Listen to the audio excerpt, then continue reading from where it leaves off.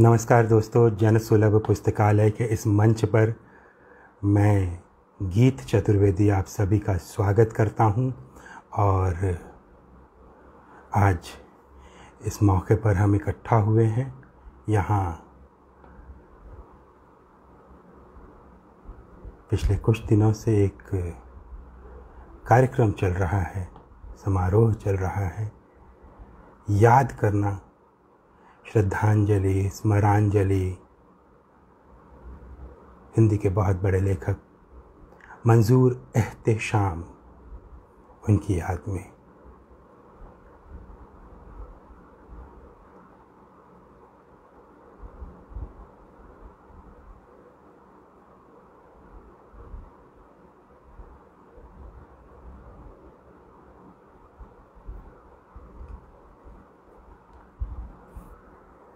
जब भी आप में से किसी को ये लगे कि मेरी आवाज़ आप तक पहुँच रही है, सही तरीके से पहुँच रही है तो मुझे सूचना देने के लिए यहाँ पर एक कमेंट लिख दीजिएगा, क्योंकि फेसबुक लाइव का एक सिस्टम ये है कि मेरे बोलने और आपके लिखने के बीच लगभग 50 सेकेंड्स का अंतर हो जाता है। यानी आप कमेंट करेंगे, उसके 50 सेकेंड्स बाद मुझे यहाँ दिखाई देगा। ये एक अंतर होता है। तो मैं ये मानूं कि मेरी आवाज़ आप सभी तक पहुँच रही है। जन सुलभ पुस्तकालय के इस मंच पर मैं गीत चतुर्वेदी आप सभी का स्वागत करता हूँ। यहाँ एक स्मरांजलि, श्रद्धांजलि याद करने का कार्यक्रम कुछ दिनों से चल रहा है। हिंदी के कई स्वनामधन्य लेखकों ने यहाँ शिरकत की है। मंजूर एहतशाम हिंदी के बड़े लेखक, मकबूल लेखक, मशहूर लेखक उनकी स्मृति में पिछले दिनों हमने उन्हें कोरोना से खो दिया था। उन्हें याद करते हुए कुछ बातें, कुछ यादें मैं यहाँ आपके साथ शेयर करूँगा और एक संक्षिप्त वक्तव्य होगा मेरा ये। ज़्यादा समय मैं आपका भी नहीं लूँगा। कम समय में अपनी बात कहने की कोशिश। मंजूर एहतशाम।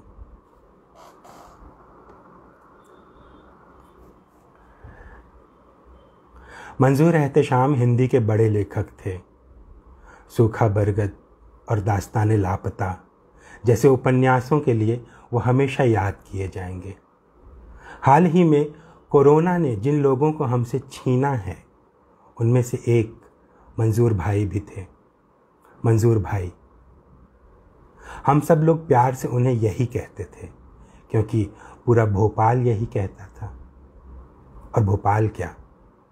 कमोबेश पूरा हिंदी समाज ही उन्हें यही कहता था, मंजूर भाई। लेकिन मैं शुरुआत में उन्हें मंजूर भाई नहीं कह पाया। वो मुझसे उम्र में दो गुने थे, या शायद उससे भी ज़्यादा थे। सो, भाई बोलते में मुझे बड़ा अटपटा लगता था। एक तो इतने बड़े दिग्गज लेखक, ऊपर से हम उनको भाई बोलें, कैसा तो भी फील होता था।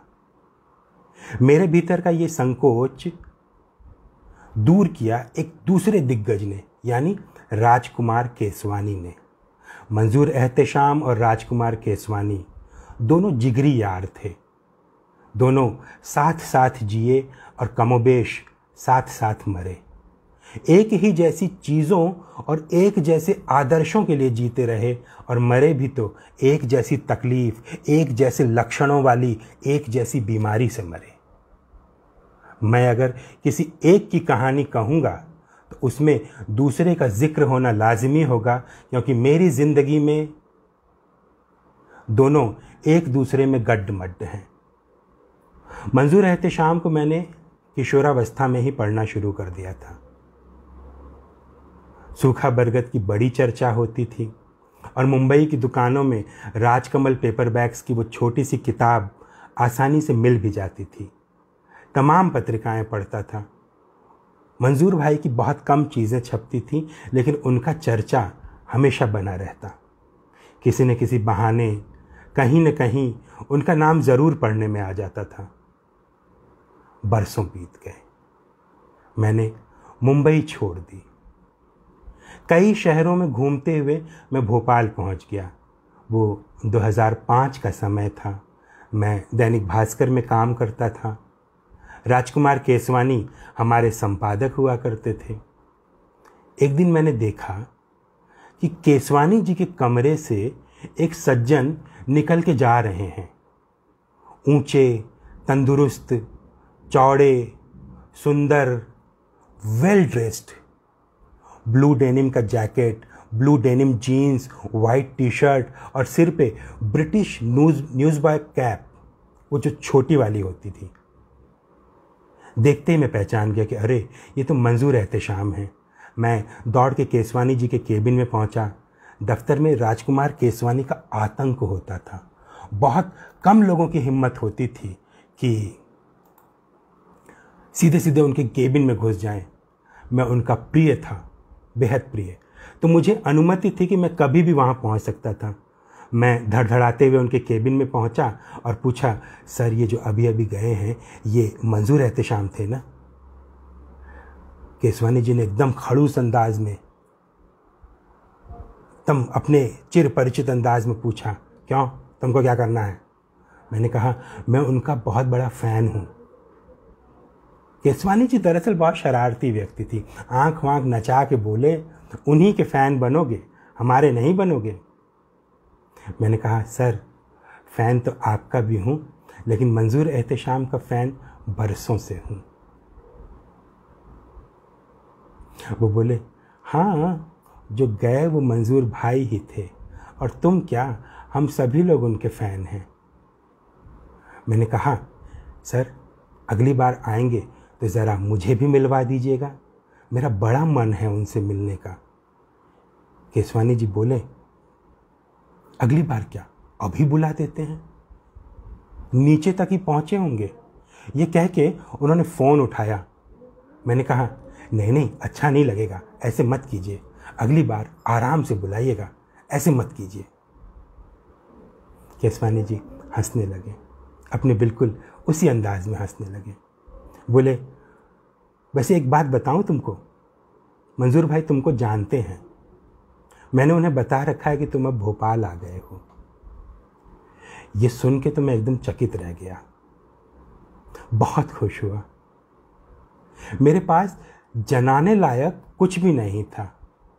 उसके बाद भी मंजूर रहते शाम मुझे जानते थे। ये सुनना अच्छा लगा था, बहुत अच्छा लगा था। किसी भी नौजवान लेखक को अच्छा लगेगा।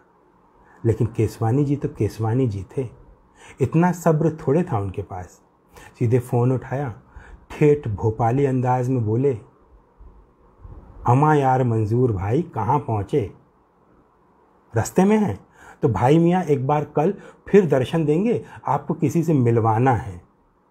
बिल्कुल, राजकुमार केसवानी के अंदर एक ख़ास बात ये थी कि भोपाल उनकी ज़ुबान पर रहता था। और मंजूर एहतशाम में भी एक ख़ास बात थी। तो उनकी इस बातचीत के बाद इस तरह मेरी मुलाकात मंजूर एहतशाम से हुई। बिल्कुल वीआईपी टाइप की मुलाकात। अगले दिन केसवानी जी के केबिन में हम तीनों बैठे हुए थे। मुझसे थोड़ी देर तक बातचीत की मंजूर भाई ने, उसके बाद केसवानी जी और मंजूर भाई, ये दोनों लोग शुरू हो गए। यहाँ की बातें, वहाँ की बातें। ले भोपाली ले भोपाली।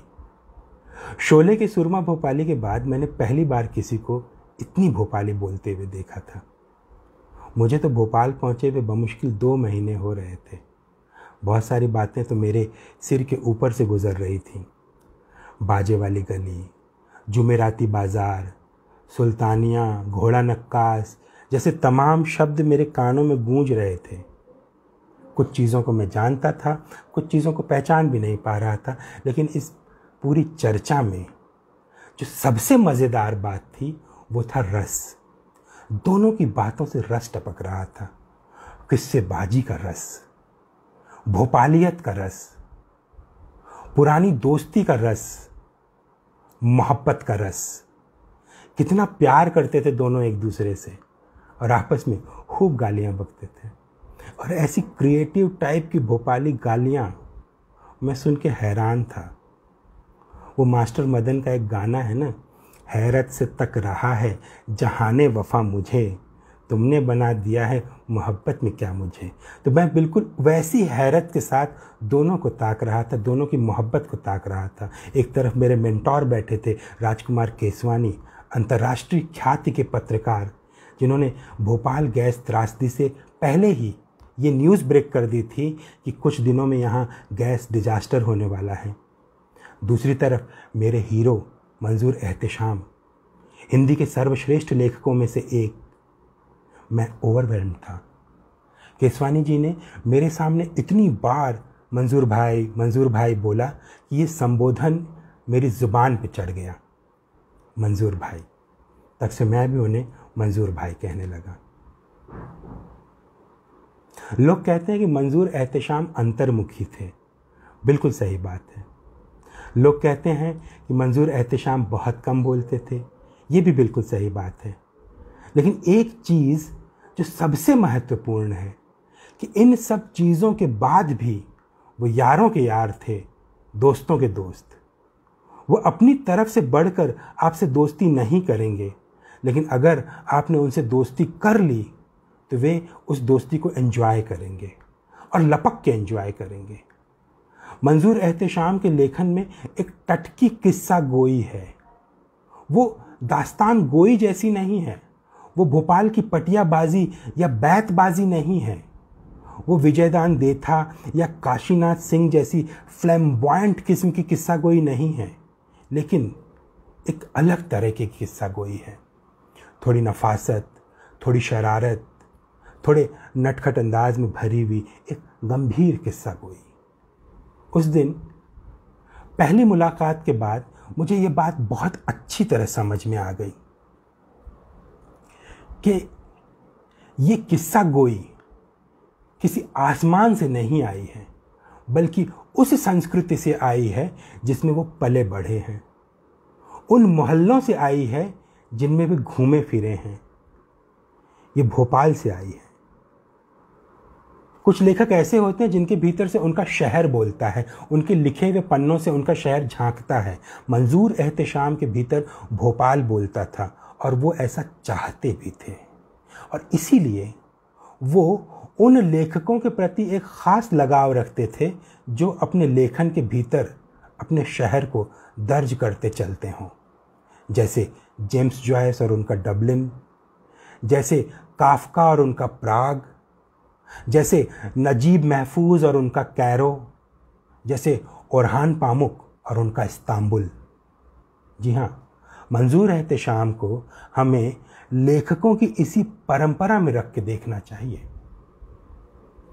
मंजूर भाई, पुराने समय से खूब पैदल चलते थे और बहुत बारीक बारीक चीज़ों को ऑब्ज़र्व करते थे और बहुत पढ़ते थे। सिर्फ़ अपने साथ के लेखकों को नहीं सिर्फ़ महान लेखकों को नहीं, बल्कि बिल्कुल नए, उभरते हुए लेखकों को भी पढ़ते थे।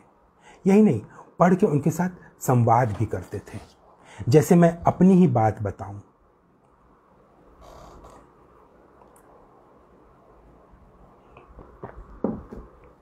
जैसे मैं अपनी ही बात बताऊँ तो 2005 में भोपाल में उनसे मुलाकात की, उनके साथ एक अच्छा समय गुजारने के बाद 2006 में मैं पंजाब चला गया। और तब मेरी पहली कहानी पहल में प्रकाशित हुई सामंत आंटी की लड़कियाँ। उसकी बहुत चर्चा हुई। तब क्या होता था कि पत्रिका में आपका टेलीफोन नंबर भी छाप दिया जाता था। कमोबेश अब भी यही हाल है। तो क्या होता था कि रचना छपने के बाद आपकी कोई प्राइवेसी बचती ही नहीं। किसी को अगर आपको गाली देनी है तो सीधे फ़ोन लगा के दे देगा। किसी को अगर आपकी तारीफ़ करनी है तो वो भी फ़ोन लगा देगा। तो मुझे भी बहुत फ़ोन आते थे। तो मैं कई फ़ोन से परेशान भी होता था। लेकिन ऐसे तमाम हालात में भी कुछ फ़ोन पाकर आप खुश होते हैं। कुछ लोगों का फ़ोन पा कर के आपको खुशी महसूस होती है। उन्हीं में से एक कॉल था मंजूर एहतशाम का। उनसे वैसे भी बात होती रहती थी, लेकिन कहानी छपने के बाद उन्होंने एक विशेष फ़ोन किया और एक घंटे तक कहानी के बारे में बात करते रहे। मैं तो यही जान करके खुश हो रहा था कि मंजूर एहतशाम ने मेरी कहानी पढ़ी है। 2006 की बात। क्या ज़रूरत थी उनको पढ़ने की? भाई, न भी पढ़ते तो भी उनका कुछ थोड़ी बिगड़ता। लेकिन उन्होंने पढ़ी और पढ़ के फ़ोन पे चर्चा की। 2006 से 2009 के बीच मेरी छः कहानियाँ छपी और हर बार मंजूर भाई का प्रतिक्रियात्मक फ़ोन मुझे ज़रूर आया। हमारे बीच ऐसे भी बात होती रहती थी, लेकिन कहानी छपने के बाद जो बातचीत होती थी, वो थोड़ी ख़ास होती थी। ये बात मैं यहाँ क्यों बता रहा हूँ? सिर्फ़ इसलिए बता रहा हूँ कि ध्यान दें, मंजूर भाई नए लेखकों पर भी बारीक निगाह रखते थे। और ये सिर्फ़ मेरा अनुभव नहीं है, बल्कि मेरे जैसे कई नौजवान लेखकों का अनुभव है कि मंजूर भाई उनके ऊपर बेहद बारीक नज़र रखते थे। अगर मंजूर भाई को आपकी रचना पसंद आ गई है तो वह आपको इतला भी देंगे और आप पर निगाह भी रखेंगे। लेकिन इसका मतलब ये नहीं है कि वो सलाह और मार्गदर्शन का एक बड़ा सा बोरा खींच के आपके सिर पे दे मारेंगे और आप उसके बोझ तले दब जाएँ। नहीं, वो ऐसा बिल्कुल नहीं करते थे। बल्कि एक लेखक के रूप में वो आपकी इंडिविजुअलिटी को स्पेस देते थे। आपकी वैयक्तिकता का सम्मान करते थे लेखन शैली के भीतर। वो कहते थे, आपने जो कुछ लिखा है, वो आपका सिलेक्शन है, आपकी चॉइस है। आपने जो प्लॉट लिया है, जो ड्रामा क्रिएट किया है, वो आपकी चॉइस है।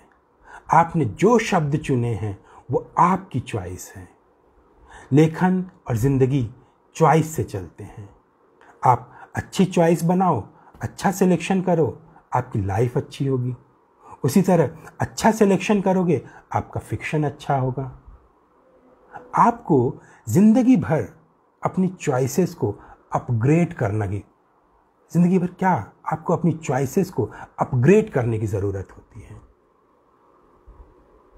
जब मंजूर एहतशाम किसी लेखक से ये बातें कहते थे तो दरअसल वो इसकी कहानी के बारे में सलाह नहीं देते थे, बल्कि पूरी लेखन विधा के बारे में एक सलाह बन जाती थी। मंजूर भाई, जिज्ञासु स्वभाव के थे। आजकल क्या लिख रहे हो? क्या पढ़ रहे हो? कौन सा नया सिनेमा देखा? इन सब चीज़ों के बारे में वो बेहद उत्सुकता और मधुरता से बात करते थे। हम दोनों की पसंद मिलती जुलती थी। हमारा स्वभाव मिलता जुलता था। इसलिए हम दोनों जल्दी ही एक धरातल पर आ गए थे। हम दोनों को दोस्तोवस की बेहद पसंद था। हम दोनों ब्रदर्स कर्माजोव के बारे में कई बार बात करते थे। हम दोनों लीडिया डेविस और क्लैरिस लिस्पेक्टर की चर्चा करते रहते थे। सॉल बेलो के बारे में चर्चा करते रहते थे। सॉल बेलो का एक नावल था सीज द डे ये नावल उन्हें बहुत पसंद था। हम दोनों खुद को एक पोस्ट मॉडर्न राइटर की तरह देखते थे। हम दोनों ही एलियनेशन की थीम पे काम करते थे। इसीलिए हमारे बीच पोस्ट मॉडर्न तकनीकों को लेकर काफ़ी बात होती थी और इस बातचीत का लाभ मुझे मिलता था। मंजूर भाई अंतर्मुखी थे, लेकिन एक बार अगर आप उन्हें सही तरीके से छेड़ दें, एक बार सही चाबी घुमा दें तो वो बहुत अच्छी तरह बोलते थे और लगातार बोलते थे। जैसे आपने पियानो के किसी सही कॉर्ड को छू दिया हो, ऐसे संगीतमयी तरीके से बोलते थे मंजूर भाई। जैसे दास्तान लापता के बारे में उनसे जो बातचीत हुई थी, वो मुझे अभी भी याद आती है। दास्तान लापता, उनका सबसे सुंदर और सबसे परिपक्व उपन्यास है। अंग्रेज़ी में अनुवाद हुआ। जेसन ग्रूनेबॉम और उलरिक स्टार्क ने अनुवाद किया, टेल ऑफ़ मिसिंग मैन। इस किताब ने उनकी कीर्ति सरहद पार पहुंचाई और इस तरह पहुंचाई कि उनकी मृत्यु के बाद, अभी हाल में, पिछले सप्ताह न्यूयॉर्क टाइम्स ने एक ऑबिचुअरी छापा, उन्हें याद करता हुआ एक लेख प्रकाशित किया। कितनी सुंदर और सराहना के लायक बात है। मंजूर भाई इतने बड़े लेखक थे कि वे सारी चीज़ें डिज़र्व करते थे। तो जनाब, हम कह रहे थे कि दास्तान लापता के बारे में हमारी कई बार बात होती थी और वो बातचीत मेरे लिए बेहद यादगार बातचीत है। इस कहानी का जो मुख्य किरदार है, ज़मीर अहमद, वो थोड़ा अजीब है। वो ख़ास किस्म के पर्सनैलिटी डिसऑर्डर से जूझ रहा है। उसमें एक सेंस ऑफ़ एलियनेशन है। यानी अपनों के बीच रहते हुए भी वो परायपन का बोध कर रहा है। भारतीय समाज में एक मुस्लिम व्यक्ति को ये एलियनेशन कई बार फील होता है कि अपने देश में रहते हुए भी उसे लगता है कि उसके साथ पराये जैसा व्यवहार किया जाता है। या वो कुछ पराये लोगों के बीच आके बैठ गया है। ये बोध वैसे तो मंजूर भाई के पूरे साहित्य में है, लेकिन दास्तान लापता में ये ख़ास तौर पर दिखाई देता है। और तीसरी जो सबसे बड़ी चीज़ इस किरदार में है, वो है अनैतिक होने का बोध। उन्नीस सौ चौरासी की वो मनहूस रात, जब भोपाल में गैस लीक हुई थी और एक ख़तरनाक मंजर बन गया था और अंतर्राष्ट्रीय स्तर पर बदनाम एक डिज़ास्टर हुआ था। उस रात, ज़मीर अहमद नाम का वो चरित्र एक वेश्या के साथ सो रहा था। जब उसे पता चलता है कि रात इतनी बड़ी त्रासदी हुई, इतने सारे लोग मारे गए हैं, तब वह एक अजीब किस्म के नैतिक बोध में चला जाता है। नैतिकता और अनैतिकता का ये द्वंद्व ज़मीर अहमद को एक एंटी हीरो बना देता है। दास्तान लापता का नायक एक एंटी हीरो है। और ये बात, ये मुद्दा हमारी बातचीत के केंद्र में उसके आसपास घूमता रहता था, एंटी हीरो। मंजूर एहतशाम के तमाम नायकों में एक हल्की सी नकारात्मकता होती थी, जो उसे एंटी हीरो बनाती थी। मैंने उनसे पूछा, क्या ये दोस्तोवस्की के कारण है। क्राइम एंड पनिशमेंट का रसकोल निकोव एंटी हीरो है। द पजेस्ट का नायक एंटी हीरो है। ब्रदर्स कर्माजोव में एंटी हीरो के लक्षण हैं और आपके यहाँ भी हैं। तो क्या सच में इसका और आपके सारे उपन्यासों का दोस्तोवस्की के साथ कोई रिश्ता बनता है? तो वह हंस पड़े, ज़ोर से हंसे। उन्होंने एक बेहद दिलचस्प बात बोली इसके बाद, जो मैंने आज तक गांठ बाँध के रखी है। उन्होंने कहा कि शायद दोस्तों दोस्तोवस्की दुनिया का पहला पोस्ट मॉडर्न राइटर था। उन्होंने कहा कि देखो, जब तक जेम्स बॉय तब तक जेम्स जॉयस का मॉडर्निज्म नहीं आया था टी एस एलियट और फ्रांस काफका का मॉडर्निज्म नहीं आया था। दुनिया चेखोवियन नरेशन को एंजॉय कर रही थी। टॉलस्टाय के आइडियलिज्म को पसंद कर रही थी। उनके पहले ही दोस्तोवस्की के लेखन में पोस्ट मॉडर्न गुण दिखाई देने लगे थे। इसीलिए 20वीं और 21वीं शताब्दी के कई पोस्ट मॉडर्न राइटर न चाहते हुए भी अनजाने ही दोस्तोवस्की के साथ कनेक्ट हो जाते हैं। ये एक बहुत बड़ा ऑब्जर्वेशन है, एक बड़ा इंसाइट है। बहुत कम लोग इस तरफ़ इशारा करते हैं, लेकिन मंजूर एहतशाम जैसे लेखक बाकायदा अपने जहन में इस बात को लेकर चल रहे थे और ये सब करते हुए वो कहीं से कोई दावा नहीं करते थे, कोई हल्ला नहीं करते थे। आगे आने के लिए उन्होंने कभी अपने बगल वालों को धक्का नहीं दिया। आलोचना के कठिन से कठिन मौके पर भी उन्होंने अपनी विनम्रता बनाए रखी। भोपाल जैसे शहर में रहते हुए भी वो तमाम दंद फंद से दूर रहे। उनका अपना कोई गैंग नहीं था। उनकी लिखी हुई किताबें ही उनका एकमात्र गैंग है।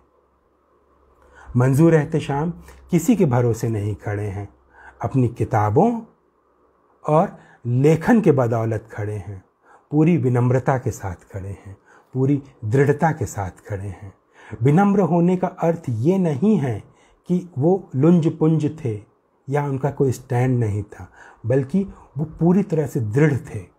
चीज़ों के बारे में उनका स्ट्रॉन्ग ओपिनियन था, लेकिन हर जगह उस ओपिनियन को ज़ाहिर करना वो गैर ज़रूरी समझते थे।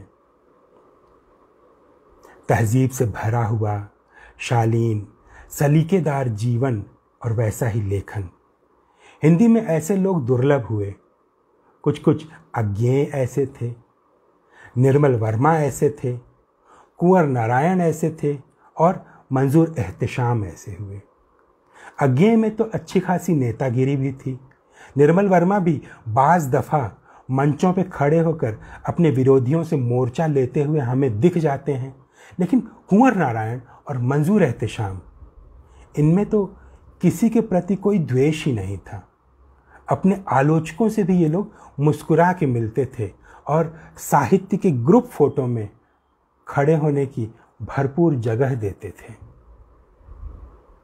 अपने आलोचकों के साथ डील करने का ये तरीका बहुत सुंदर तरीका है। कुंवर नारायण और मंजूर एहतशाम से पता नहीं मैं कितना सीख पाया हूँ, लेकिन ये कोशिश मुझे बहुत आकर्षक लगती है। और जैसे कि मेरी आदत है, मैं अपनी डायरी में नोट करता चलता हूँ। अच्छे लेखकों के साथ बात करने के बाद कि उनकी कौन सी अच्छाइयाँ हैं जिन्हें मुझे अपने जीवन में उतारना चाहिए, मैं इन बातों को नोट करता हूँ अपनी डायरी में। तो अपने नौजवान दोस्तों के लिए मैं वो लिस्ट शेयर करना चाहता हूँ, जो मैंने मंजूर भाई से सीखते हुए, उनसे बात करते हुए बनाई थी। मैं सारी बातें नहीं शेयर करूँगा, लेकिन कुछ चुनिंदा बिंदु ज़रूर बताऊँगा, और वे बिंदु इस तरह हैं। लेखक के लिए सबसे ज़रूरी है अनुशासन।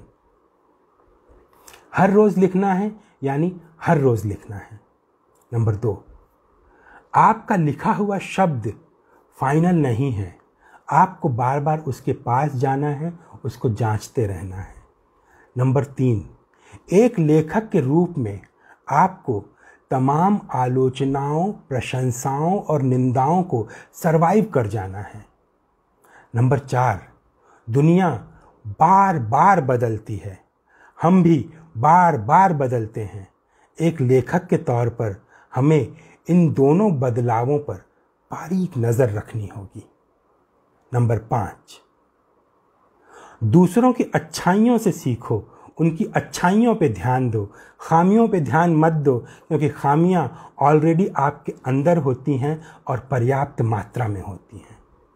नंबर छ काम नहीं कर पा रहे, तुम्हें मन माफिक नतीजा नहीं मिल पा रहा तो उदास मत हो वो एक शेर मंजूर भाई बार बार कहते थे, रात जितनी संगीन होगी, सुबह उतनी रंगीन होगी। तो इस आशावाद को कभी मत छोड़ो।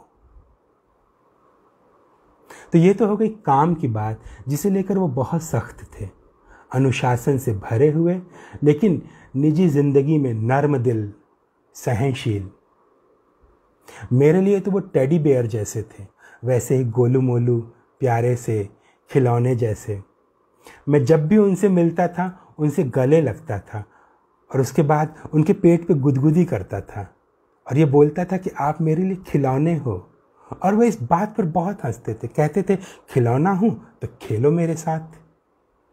खाओ, खेलो। फिर हम बातें करने लग जाते थे। अपने बातों से, अपने शब्दों से खेलने लगते थे। ये सब बातें मैं आज याद कर रहा हूँ। बहुत दुख के साथ याद कर रहा हूँ। ये बहुत ख़राब समय चल रहा है। लोग ऐसे बिछुड़ रहे हैं, जैसे पतझड़ में दरख्तों से पत्ते गिरते हैं। कोरोना के कारण मेरे पिताजी की मृत्यु हुई, जो मेरे सबसे अच्छे दोस्त थे। कोरोना के कारण राजकुमार केसवानी की मृत्यु हुई, जो मेरे सबसे आदरणीय बुज़ुर्ग थे। कोरोना के कारण मंजूर एहतशाम का निधन हुआ जो मेरे प्रिय लेखक, सखा और भाई थे, मंजूर भाई। और विडंबना है कि मैं इन तीनों के अंतिम दर्शन नहीं कर पाया।